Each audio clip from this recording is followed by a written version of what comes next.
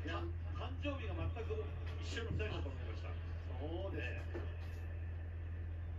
ドリームマッチならではの上原対高橋由伸。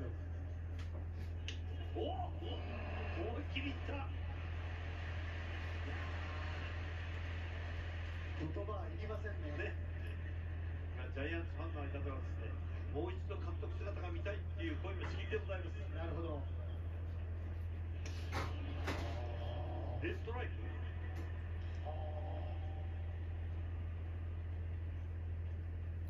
急で追い込んだ。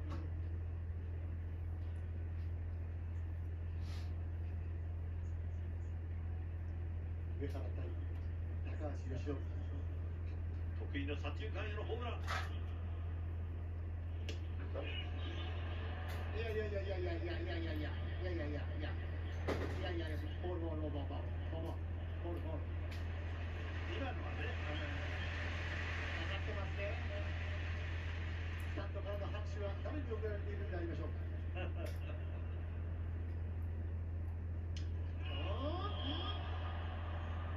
どこへ打ち上げたんしまだった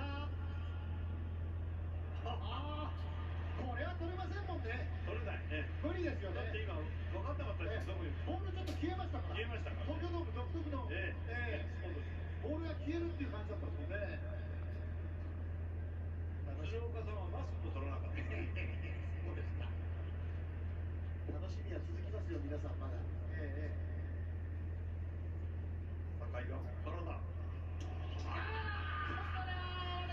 スプリトが最いやいやこのボールで打ち取ったか上原浩二三者三振。いや見事な